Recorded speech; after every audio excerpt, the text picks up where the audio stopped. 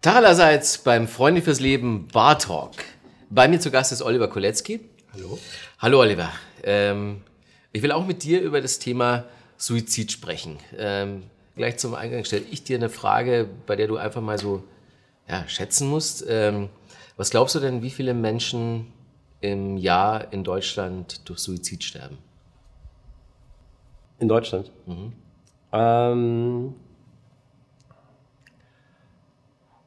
Ähm, ähm,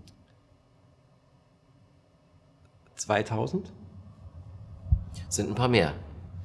Ähm, sind tatsächlich so um die 10.000. Äh, das heißt, es sind mehr Tote als durch Verkehrsunfälle, Drogen und AIDS zusammen. Äh, überrascht dich die Zahl offenbar? Ja, total. Also jetzt zu schätzen ist es mal schwer, aber was du halt gerade gesagt hast, das ist äh, durch mehr als durch Verkehrstote. Mhm.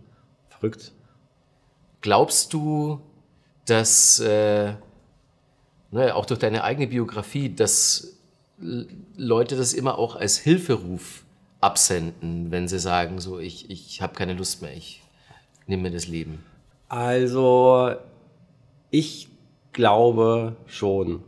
Ich glaube schon. Ähm, also ich glaube, ich kenne mich natürlich nicht aus, aber ich glaube, es sind die wenigsten Fälle, wo einer ganz äh, für sich ist und auch keinem Bescheid sagt. Also ähm, die, ähm, wie ich mir das vorstellen kann, ist schon die meisten, dass es da so ähm, Warnungen gibt oder dass die Leute auf sich aufmerksam machen.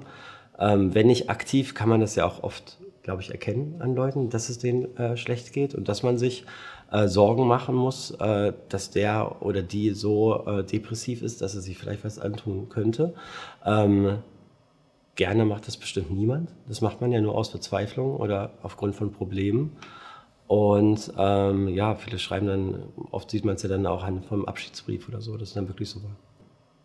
Hättest du für dich, wenn du in so eine Situation geraten würdest, überhaupt eine Handhabe, eine Idee, wie du damit umgehen würdest? Wenn ich selber gefährdet wäre. Nee, wenn Oder? du, wenn, wenn du jemanden jetzt ja. kennen würdest, der ja. gefährdet wäre. Was ich da machen würde. Ja.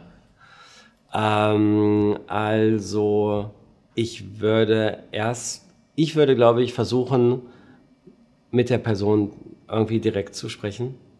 Ähm, würde ihn äh, fragen, ähm, warum es ihm so schlecht geht, was die Ursachen dafür sind, vielleicht Lösungswege aus der Lage zu überlegen oder zu erarbeiten, wenn denn das denn möglich ist. Aber irgendwo muss man ja ansetzen.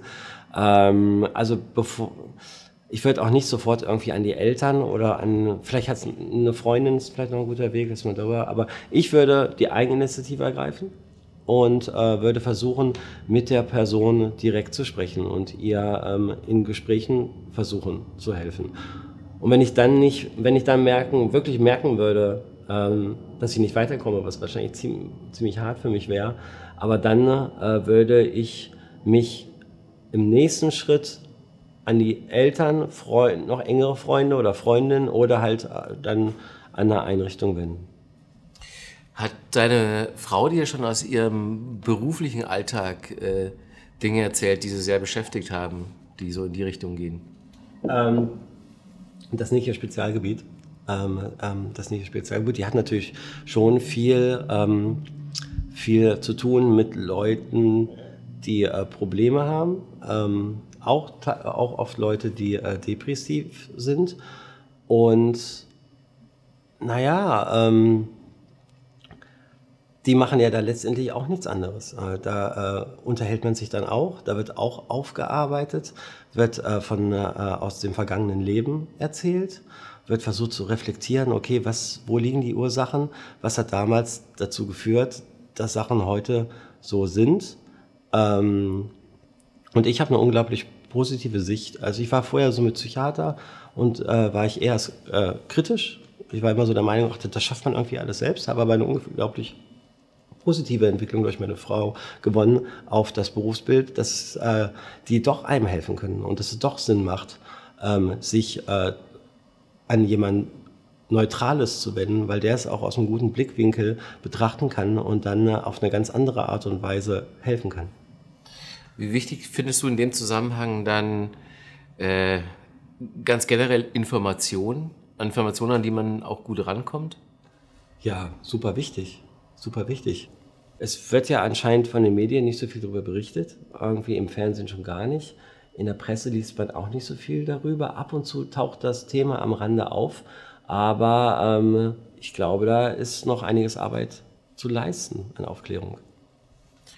Dann äh, vielen Dank, dass du dich da jetzt auch zur Verfügung stellst, weil einfach das darüber sprechen und äh, der Umstand, dass du dir darüber Gedanken machst, äh, das ist ja, soll ja auch schon Ansporn sein für Leute, das ebenso zu tun. Na klar, sehr gerne. Vielen Dank.